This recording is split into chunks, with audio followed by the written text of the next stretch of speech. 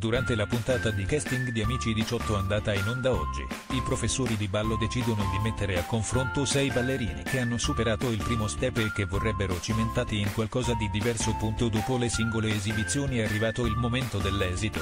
Daniele, Alex, Francesco, Federico ed Emma apprendono di aver superato anche questa fase. La diciottenne Emma convince in particolare modo la commissione con la grinta del suo stile jazz funk e pop, che studia da ben sette anni. I professori in canto di Amici 18 vogliono anche scavare nella personalità artistica dei ragazzi. Arriva così il momento di Kevin Payne che esegue il brano Shape of You, con una parte rap da lui scritta, e un inedito dedicato a una ragazza. Nella lista delle canzoni proposte, suscita la curiosità dei docenti una serie di brani in spagnolo composta da Kevin che esegue in versione chitarra e voce. I suoi inediti riescono a convincere la commissione e così riesce a passare allo step successivo. Punto è poi la volta di un gruppo di ragazze che hanno in comune il fatto di essere principalmente delle interpreti.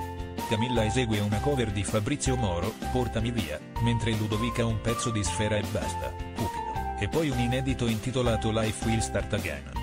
Lo stile variegato della ragazza genera delle perplessità da parte di Alex Britti, lasciando in dubbio, per ora il superamento della selezione. Infine il cantante Samuele, nonostante un plettro consumato, vola dritto al terzo step, e il cantautore Kale conquista ed emoziona con il suo inedito intitolato Camilla, ispirato a una storia vera.